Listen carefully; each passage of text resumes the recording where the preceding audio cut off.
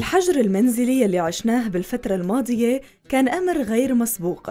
طريقة عيش غير طبيعية وإحباط لبعض وراحة لبعض آخر ولم شمل لبعض العائلات وكوارث حقيقية لآخرين.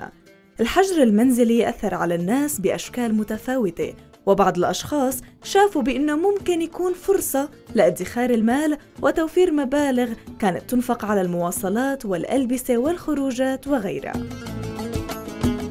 بفترة الحجر المنزلي على شو كنتي عم تحطي مصروف أكثر شيء؟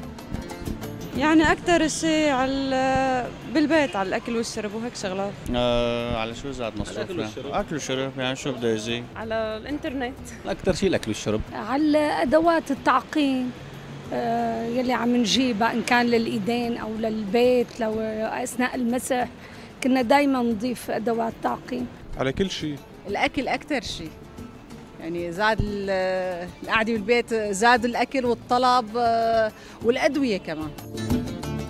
بحسب الدراسات فنسبة استهلاك الطعام بالعالم كانت بفترة الحجر المنزلي أكثر بكتير من قبل. وإذا كنتوا نشيطين على مواقع التواصل الاجتماعي فلاحظتوا إقبال أكثر من 50% من الناس على الطهي بالمنزل. وهذا معناه أن شراء مكونات الطعام زاد بشكل كبير. زاد المصروف طبعا. وقتها طلعات ما في هي صح هذا الحكي كماليات بس أنت كل شيء بدك اياه الأساسي غلي سعره بقى أنت طلعتي رأس براس ومكسوره ممكن أوقات بتجيبي يعني بس غير إنه إذا بدك تطلعي لأنه بدك تطلعي كان في مشاوير في كافيهات مثلا أو شيء غير بالبيت حتى لو جبتي يعني المصروف عم تجيبي بكل الأحوال بس قال مثلا الكافيهات طلعات مشاوير هيك. نحن باليوم يفرق معنا. يعني أول يوم تاخذي مثلا كيس المحارم كان حقه 800 ليرة. يومين خلاص إذا حدا من الأولاد مرشح مقرب 900 ليرة.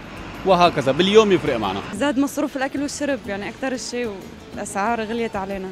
هلا هي مو مصروف بالفوتات والطلعات المصروف بمصروف الأكل والشرب خاصه اللي عنده عيلة يا حرام واللي شغله قليل شو بيعمل بحاله؟ يعني وصل كيلو البطاطا لل 1000 ليرة. ومعقوله يعني شغلة بسيطة هيك قوت المنزل هذا يعني قوت الفقير 1000 ليرة. بندورة 1000 ليرة ما عملنا شيء. يعني بطاطا بندورة كذا اكلت آه، شغلة بسيطة.